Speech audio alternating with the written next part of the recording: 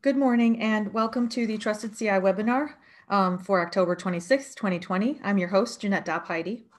Trusted CI is the NSF Cybersecurity Center of Excellence, and these webinars are part of its mission to deliver high quality, actionable guidance regarding cybersecurity to the NSF community. More information about Trusted CI can be found at trustedci.org. Today's topic is enforcing security and privacy policies to protect research data with Yuan Tian. Uh, Yuan is a is an assistant professor of computer science at University of Virginia. Her research focuses on security and privacy and its interactions with systems and machine learning. Before we begin, I have a few things to note. First, this presentation is being recorded. Second, participants are welcome to ask questions during the session using the chat box that uh, you see um, in, your, uh, in your Zoom interface. Um, we do are we are planning on um, ask, taking questions at the end of the presentation as well. Um, and with that, I will hand things over to Yuan. Yuan, welcome. Thanks, Jeanette, for the introduction, and thanks everyone for joining my presentation today. So I will share my screen first.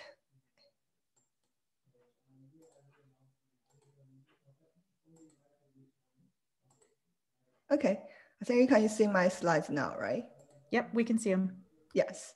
Um, so I really appreciate the opportunity to come here today, and I will talk about our NSF funded project enforcing security and privacy policies to protect research data. I saw that we have lots of great uh, participants in today's seminar, including researchers, IT experts, and industry experts. So I really want to use this opportunity to actually discuss together about what should we do to protect research data and enforce policies. Welcome everyone. These days, the research apps are emerging. For example, we have seen mobile apps trying to diagnose uh, mental health conditions. And with the spread of the pandemic, we also have lots of pandemic uh, tracing, contact tracing apps for example, University of Virginia will also have a health check apps for employee and students to keep track of their health conditions.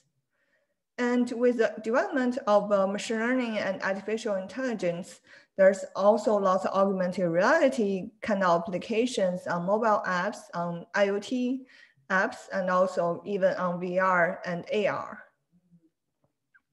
So these apps they provide lots of great research opportunities. These research apps really enable researchers to get lots of useful research results and also provide useful features to the users. However, they also introduce security and privacy issues for users and institutions.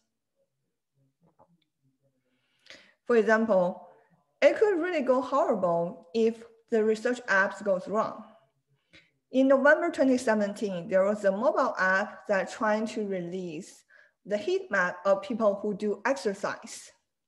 But accidentally, it's actually disclosed a military base in Singapore that could not be found on Google Map. The fact is that there were soldiers trying to run or jogging uh, around the military base with their uh, fitness tracking kind of uh, devices and apps. And this mobile app that trying to just display how active people are actually disclose the location of military base. This is just one example of mobile apps. But in reality, the emergence of the IoT devices actually open up new, lots of new opportunities for such security and privacy risks. For example, I don't know how many of you actually use smart speakers, but these um, apps on smart speakers such as Alexa and Google Home keep listening users' conversations even after users quit the conversations. And this kind of recordings were also used uh, as evidences in a court, for example, for a murder case uh, last year. So it seemed to be the case that these research apps might accidentally collect more data from the user and might even disclose this sensitive data. violations of privacy is very common when developers are not careful because these research apps make ex extract personal alternative data such as cameras, GPS locations, Bluetooth information, and motion sensors. You might say motion sensor is not that dangerous, but it was reported that motion sensors can be used to actually infer the password you tap on your phone. And the second issue is that compliance with, with regulations such as GDPR, CCPA, or HIPAA can be really tricky. And for the research apps, most of the developers are just researchers or students. They are not experienced security engineers who are really trained with background of security privacy, and then don't have lots of experiences even developing this kind of apps. And they just want to have research prototypes to launch their research activities. Before I talk about how we help to resolve these problems, I also have questions for you. The first question is that who is responsible for such security and privacy issues in your institution? And the second question is that during your daily practice, how do you actually check or avoid these issues? So uh, feel free to type out your answers and join the discussion uh, because I also want to know like what's how does it actually work at your institution for preventing these risks in the research apps. Yes, I think Jim mentioned about um, IRB is responsible and uh, Wasoka mentioned that everybody is responsible. Um, and I think some of the universities and um, and and um, and companies they also have a chief security information security officer is also checking these kind of things. Nicola have a similar opinion that everybody is responsible from end users to developers. Okay, how about for the second question? And, and first, I want to thank everyone for joining this discussion. And uh, how about the second question? In your daily work, how do you actually check or avoid these issues currently?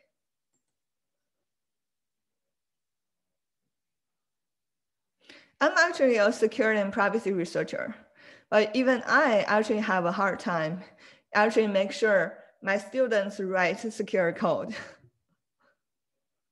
or like trying to comply with the best practice for privacy when they actually develop research apps.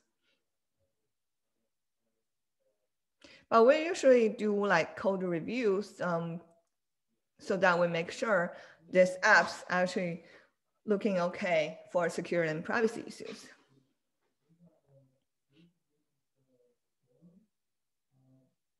Okay, I will talk about um, the current solutions I observe in UVA and the limitations and how do we want to resolve these problems.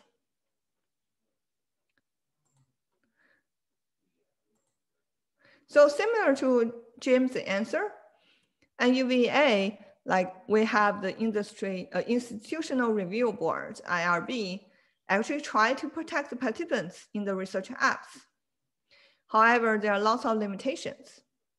First, the IRB process are very time consuming. And there's no guarantee that researchers will really follow IRB protocols.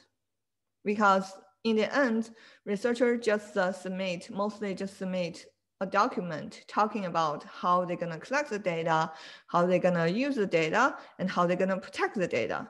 But there's no guarantee that these uh, researchers will really follow the IRB protocols. And even when researchers try to follow what they promised in the IRB protocol, they might accidentally build apps that over collect data or has vulnerabilities that might disclose the user's data. So the current solution have lots of limitations and barely works. So in this project, the question we want to solve is how can we enforce the security and privacy policies automatically on research apps, generally on research software. We come up with this solution that contains two thrusts. Overall, we want to be able to first understand this um, document to extract security and privacy relevant policies. For example, we want to be able to use natural language processing to be able to look into the IRB protocols, the app descriptions, and maybe the data management plan to check what kind of security and privacy policies the developers, the researchers want to enforce on their apps. So the first thrust is novel natural language processing techniques that enables understanding, automatical understanding of all these unstructured documents from IRB protocol to app description, privacy policies, and data management plan. And for the second thrust, after we got the codified kind of security and privacy requirements from the first thrust, we want to run program analysis on these research apps and make sure there's no policy violation and even try to fix this research apps that has a violation to make sure it actually follows the security and privacy requirements from the first step. So this is an overview of our project. And in today's talk, I will first start with the thrust one and talk about how we use natural language processing to analyze this unstructured document like privacy policy, application description to get codified policies for the security and privacy requirements. In this part, I will talk about two projects and actually two recent papers we published. So these two papers, the first one is trying to understand the privacy policy document to look into the data practice in the privacy policy of the apps. And we prepare policy QA, a reading comprehension dataset for privacy policies, which is to appear in EMNLP findings, which is a top tier machine learning conference. And the second project I want to cover is trying to understand the privacy risks by analyzing app descriptions. So this TK Perm paper is published in NDSS 2020, which is the top tier security conference. And we are one of the five uh, top rated papers in NDSS 2020. The reason why we want to look into privacy policies and app descriptions is because they actually are user facing. So they tell a lot of information about the planned security and privacy uh, practice the developers, researchers want to do in their research apps. So without further ado, I will first talk about the policy QA, the paper about understanding privacy policy documents. So we saw lots of privacy policies for mobile apps, for websites, because especially with uh, GDPR and CCPA, this, um, these apps, no matter websites, apps, or they are mobile apps, they are all required to, to provide privacy policies. But these privacy policies are usually very long and confusing. Previously, it was investigated and it takes a, a, lot of time for typical American internet users to read the privacy policies of the, all the website he or she visit in one year. So can anyone guess like how long is usually the time?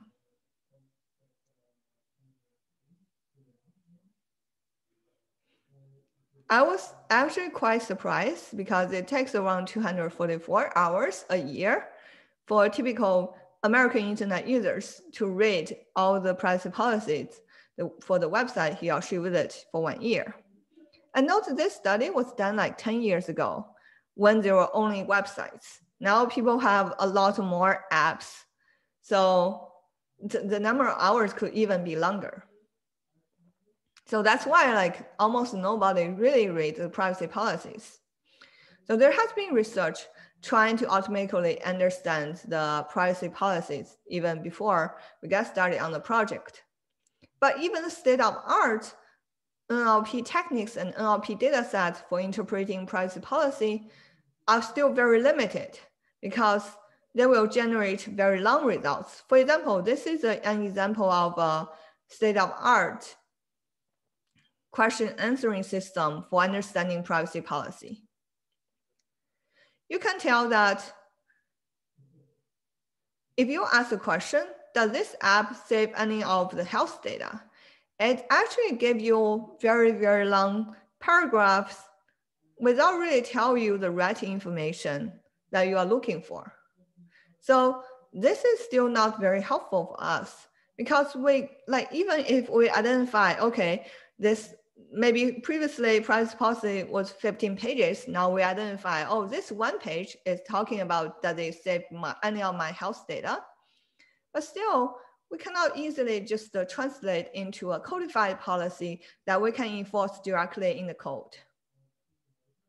So our goal for this project is that before we're going into the details of all these uh, fancy NLP models, we first want to provide a useful data set that people can train their NLP models on top of it.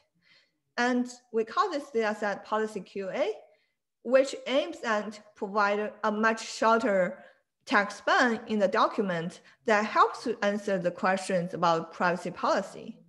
On the right side, you can see the examples. For example, if the question is like, how do you collect my information?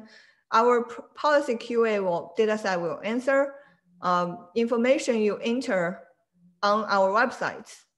And the second example is that if the question is, is my information shared with others, the answer is short as well. We don't give you, give that business your name and address. So this will be much more useful for extracting the security and privacy policies from this kind of privacy policy document. And now let's talk more, more details about how do we collect this data set. We ask annotators to create questions relevant to different segments of privacy policies. For example, for the text span relevant to name and emails, the annotators come up with questions such as what type of contact information does the company collect? Or will you use my contact information?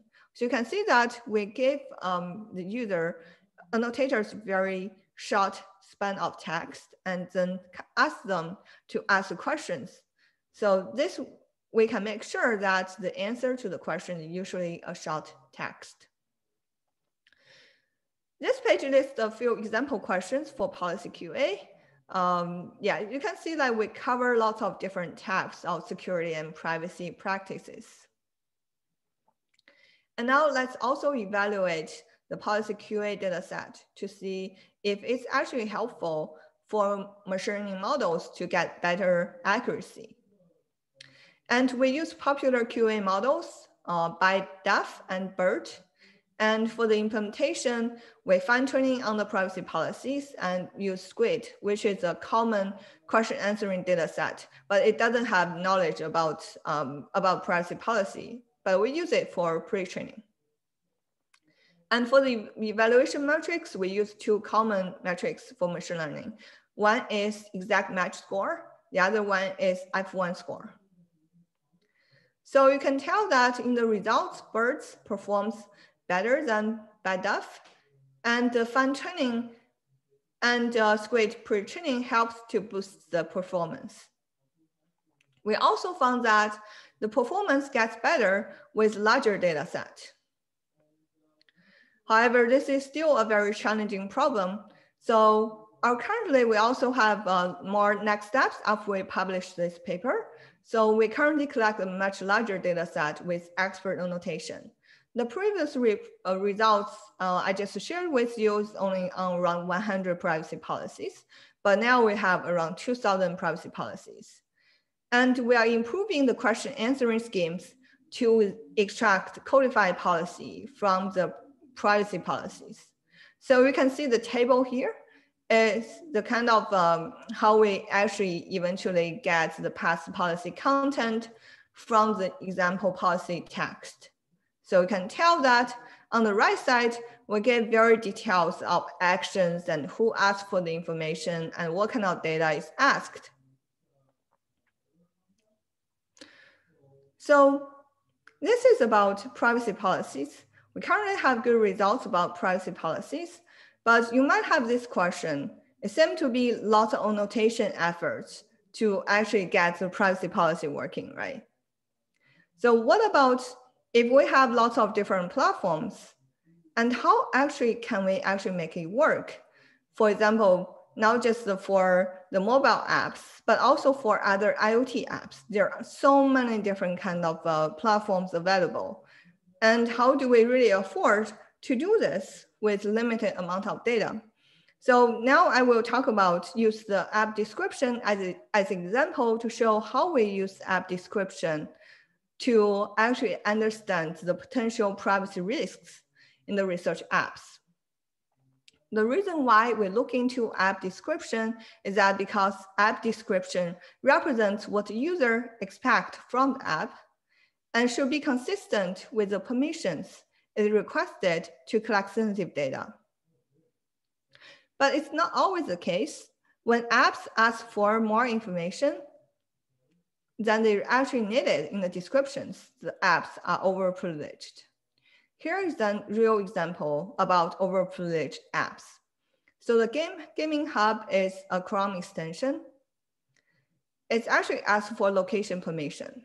But when we check the description of Gaming Hub, there's no explanation for the usage of location permission. So we don't know how it's gonna really need the location permission. Instead of match, it's actually a potential overprivilege.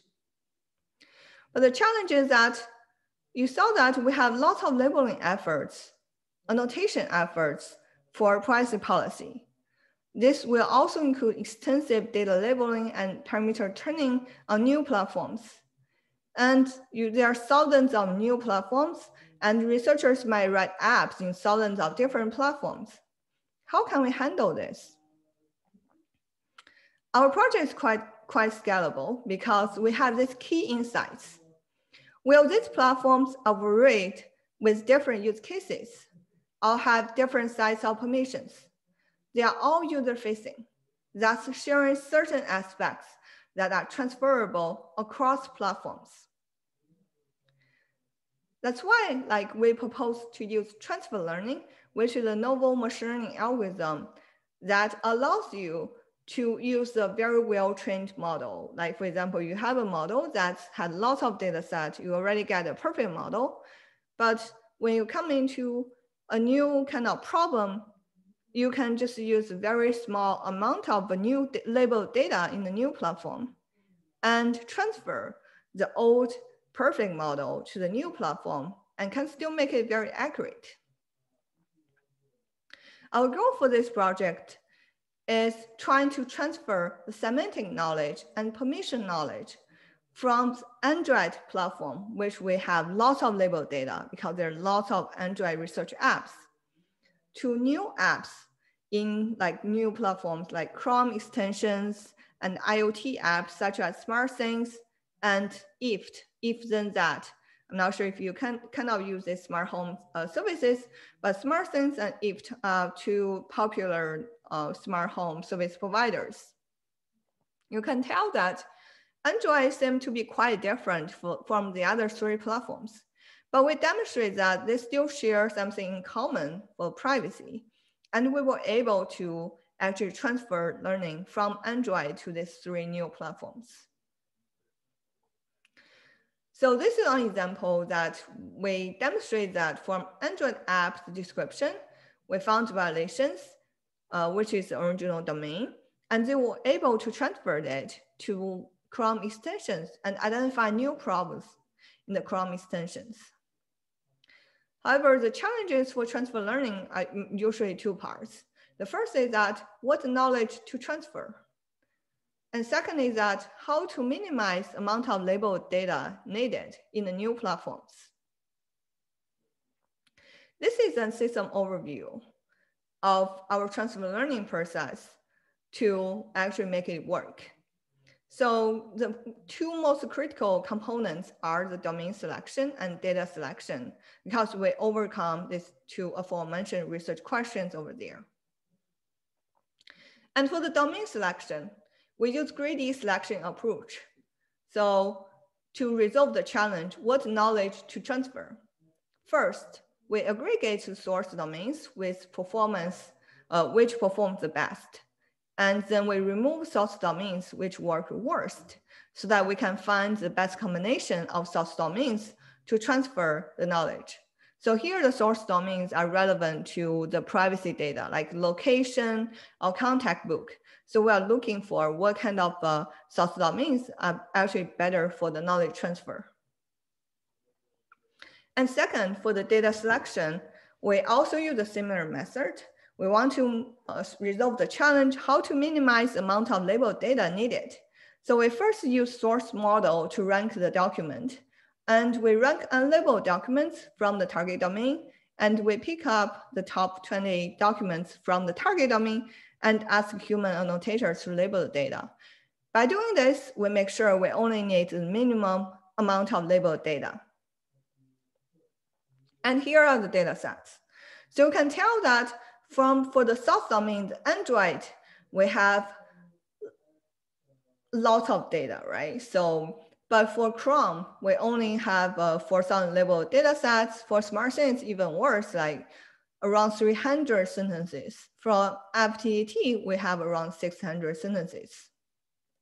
However, this only a handful of data sets in this new platform actually proved to work great. So next we'll show the evaluation of this uh, transfer learning method. We have three questions we want to evaluate. First, what is the end-to-end -end performance of TK-Perm? Second, what is the performance of each component in TK-Perm? And third, what is the computation overhead of TK-Perm? We'll first talk about evaluation on the effectiveness of TK-Perm. And you can tell from this table that our source domain selection, greedy selection works much better than state-of-art H-divergent source domain selection. And the data selection is also pretty effective. You can see that the improvement of uh, without data selection and with data selection is actually a lot of differences. So overall, TK-Perm is very accurate. You can see that we have very high like accuracy and lots of improvement um, on, the, on the model. The last question is that what's the computation overhead of TK-Perm? And we show that the computation overhead is reasonable, so it's quite scalable. You might want to ask a question, how bad is app overprivilege? So we found that this app overprivilege is a pervasive issue. So over 30% of apps studied are overprivileged. The detailed distribution in these new platforms. This tells us if you have researchers write their own research apps in your institution, they might as well also make mistakes because one in three out of professional developers make such mistakes. So as researchers, we might even do worse than the case. Basically, these two projects tell us that it's possible to extract useful information about security and privacy from this unstructured document it tells us that we can do lots of automation to identify security and privacy policies uh, from this unstructured document. So now let's think about what will be the next step for our project in the first trust. We are currently extending the transfer learning techniques to other platforms as well, and it has been successful. And we're also exploring the transfer learning idea on other policy documents, such as privacy policies IRB documents and data management plans. We look forward to collaboration in these areas because the more data we have, the more accurate the model is. And we'll be happy to share our um, data set, of course, all anonymized and remove sensitive data, and also uh, our code for getting this kind of analysis working together. So now we switch gear and talk about second thrust, how we check the policy violation with program analysis. So after getting this kind of codified security and privacy policies from the first thrust. we also want to vet these research apps for potential policy violations. So here I will only talk about one example that we do to find out um, privacy violations on IoT apps that IoT apps actually ask for, uh, actually collect more information than actually needed. And uh, we actually have lots of work in enforcing policies for mobile apps and websites. For example, enforcing uh, GDPR policies on mobile apps and websites as well, but we probably don't have time to go into details of, of this. The reason why I want to use IoT app as an example is that because smart home applications are getting very popular. I currently also have lots of smart home devices in my house, uh, but I know they are risky because once an attacker gets into your house, it actually can control all the devices and gets lots of sensitive information about you. So the problem here is that users of these apps might not be aware of the risks as we know that users will only probably only read the descriptions of apps when they install apps. But actually, when the apps are running in the cloud, there's no guarantee that the functionality explained to the user is actually the same as the behaviors of uh, the smart home devices. It's the same problem our IRB office actually running into because IRB office only sees the IRB policy and also description of the research apps. They actually don't have the capability to really review code uh, line by line about the code of the research apps to make sure they really follow the IRB policy and their app descriptions. Okay, so what we do in this work is that we want to be able to make sure we actually got insights about real security and um, privacy behaviors in the apps. And then be able to tell the user or our IRB office about potential privacy violation in the research app. But this is actually a challenging task.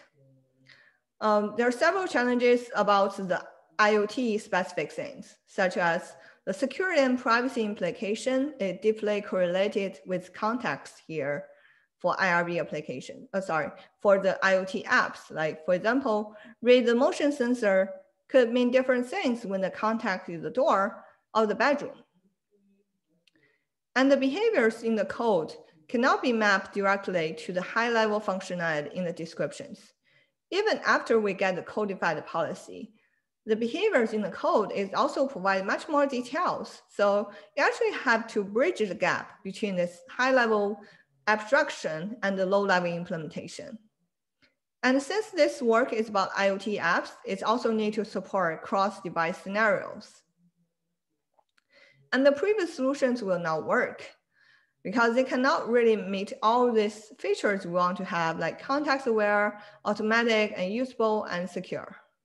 So we have to design new interfaces and also new enforcement scheme to make it work. We have several goals for this project. We want to make sure the research apps share minimum amount of data and capability for the desired functionality. We want to be IoT specific. We want to support cross-device, context-based automated control. We also want to make it useful to help the users, like the research participants, to make well-informed decisions and minimize user burdens. We also want to have good performance, like it should be lightweight and compatible. This is an overview of this Smart SmartAuth project. First, we run program analyzer to understand the logic in the app code. And then we run the NLP analysis to actually analyze app description. This is similar to the NDSS paper we talked about in the last thrust. And then we run the consistency checker to check the security and privacy behaviors in the code and in the description so that we can generate the security and privacy policy to, to let users decide if they are willing to send the data. And then we build end-to-end -end policy enforcement to make sure that the apps don't violate the security and privacy requirements. This is a simple example here. So we are talking about an example that an IoT app tells you, I will make you a cup of coffee after you're taking shower. So, but actually it's actually doing things more dangerous. I will show you how we identify this uh, very risky behavior. So you can see that this tells the user like there's a capability relative humidity measurement trying to take the measurement of humidity sensor in the bathroom. So there's a location context in the code annotation talking about bathroom relevant to humidity sensor. And we also saw the conditions uh, in the code basically tell people when the shower, when the humidation is above a threshold, turn on the coffee machine. And here we want to show you how we correlate uh, the description with the implementation in the code. First, for the description analysis, we have two entities, shower machine and, uh, and, and the coffee machine. And for the program analysis, we actually found three entities, the switch, the humidity sensor, and the lock. And then remember we have this context clue so that we'll be able to match the bathroom for the humidity sensor and coffee for the switch. So now these blue entities actually matched. And then we look into the conditions. Uh, on the left, it's taking a shower. On the right, it's humidity reading above a threshold. So this can be matched. And then we look into the triggers, got the actions. So in the description analysis, only turn on the coffee machine, but in the program analysis, we found that it's instead of just um, make you a coffee, it's also unlock your door. So this is a risky behavior we identify that's violate the security and privacy policy defined in the description. And we produce good interfaces that is quite understandable to the user. And we build end-to-end -end policy enforcement that makes sure this app only gets the enough amount of data the user wants it to collect so that it follows the privacy um, policy. We do that by, uh, by instrument the app's code to actually instrument the part like collecting data and sending data. For the next steps, we're working on checking policy violations on mobile apps and websites. We also have recent papers published in these areas as well. So basically, we're also extending the policy enforcement to include regulations such as GDPR. I'm more than happy to discuss about the details and also for people who are interested in how to do really do policy enforcement on different platforms.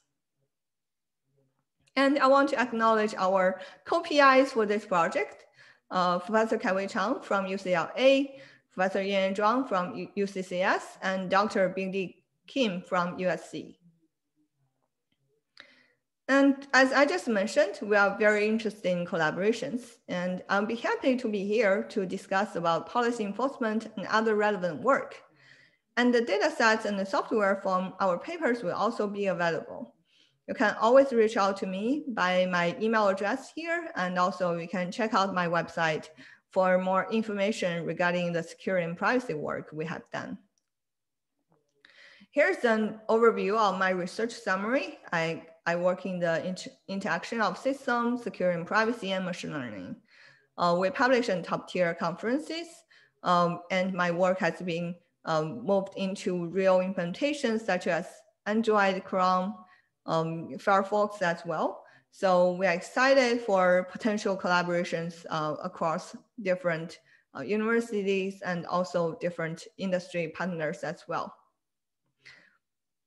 So this is the end of my talk. Um, I'll be happy to take any questions. Thank you so much for coming. I know it's a busy Monday morning and thanks a lot for sparing your time listening to my talk today. Great, thanks. I'm going to grab the screen back uh, briefly uh, while people are typing and just kind of go over a couple of updates related to Trusted CI. So let me just grab the screen back.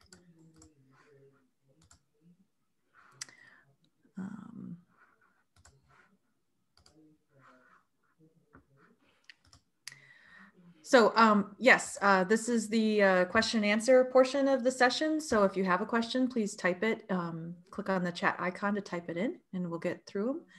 Um, we have a few community updates related to Trusted CI. Our next webinar is Monday, December 7th. You'll notice it's we don't have one for November because we try to thread the needle between the two big holidays. So look out for our updates um, uh, in late November to join our Monday, or sorry, Monday, December 7th webinar at 11 a.m. Eastern. Our topic is a panel discussion with the Trustworthy Data Working Group.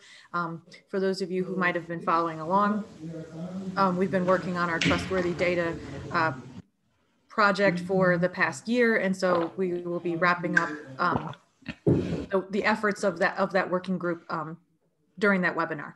And then also, um, for those of you who are interested, our 2021 Fellows Program application window is still open. We are accepting applications um, until November 6th. So if you're interested in that, please go to trustedci.org slash fellows. And if you have any questions for us or want to see older uh, or previous webinars, you can go to trustedci.org slash webinars, um, or you can email us at webinars at trustedci for questions, suggested topics, and other areas of interest regarding our webinars. And with that, let's go to the chat. Um, we've got a comment here. Great talk. Have you worked in medical or clinical IoT privacy and security yet, or would you be interested in that? Mm-hmm. We have an IEEE UL working group uh, developing standards for clinical IoT and TIPPSS, trust, identity, privacy, perfect, protection, mm-hmm. safety, and security. yeah, so that's nice. Thanks, Florence, for the question. Yes, we actually look into the medical part of IoT privacy and security. Uh, we have a paper like that will appear and UbiComp this year talking about medical apps on Amazon Alexa and Google Home.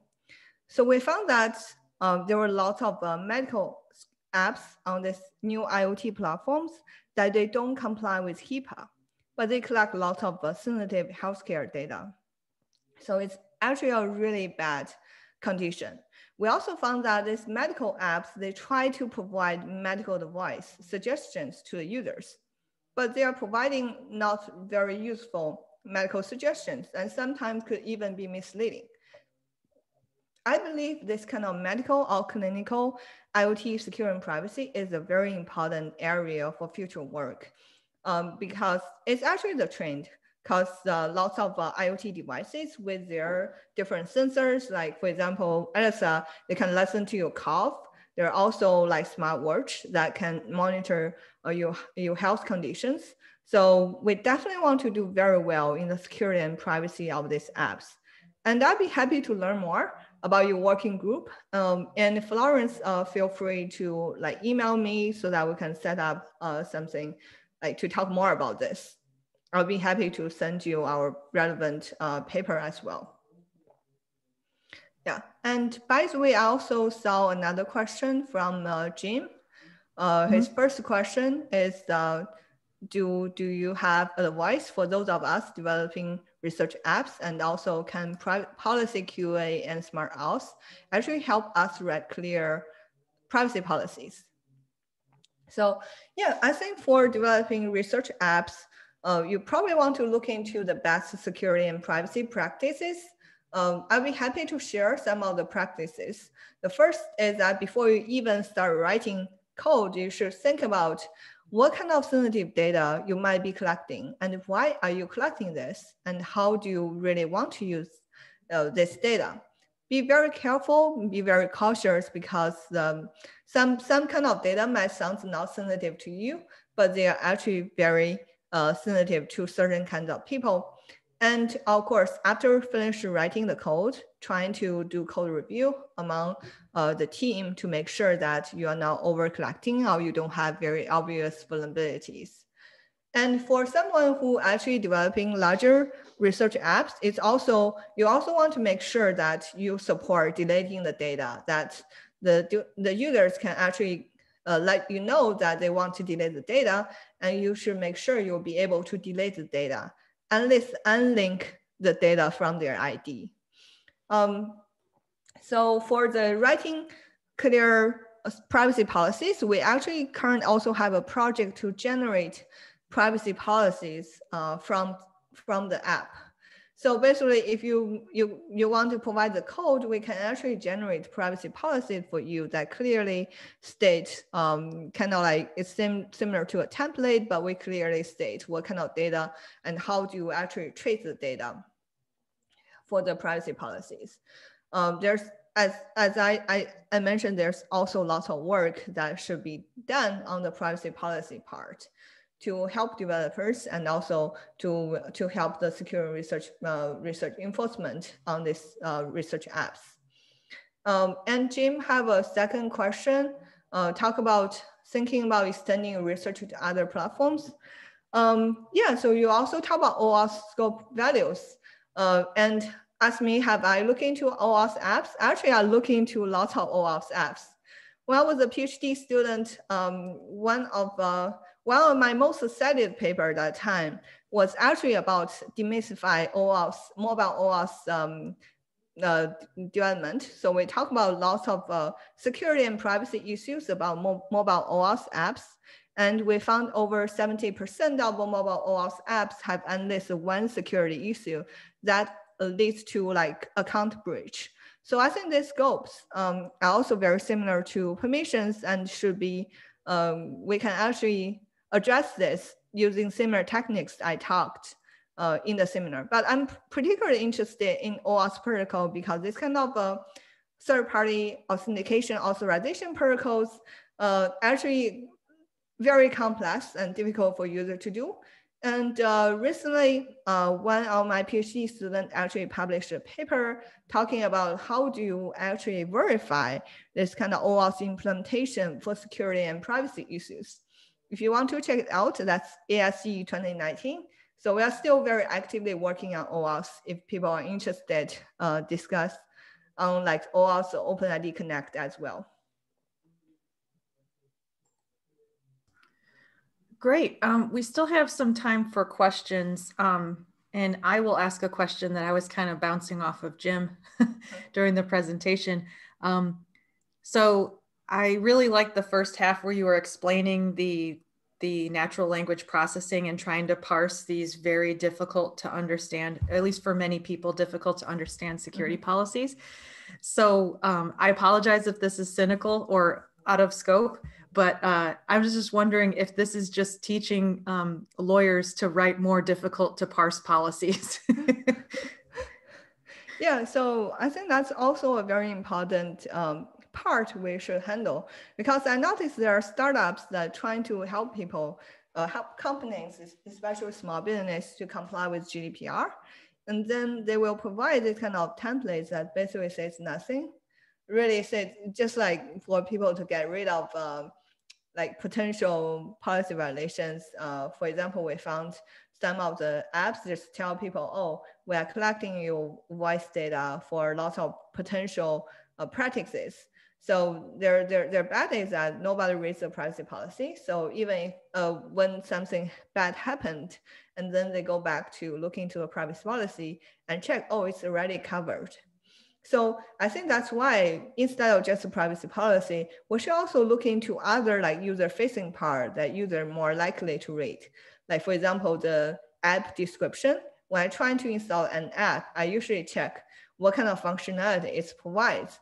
So it actually helps me to have expectation about how much data is being collected from this app.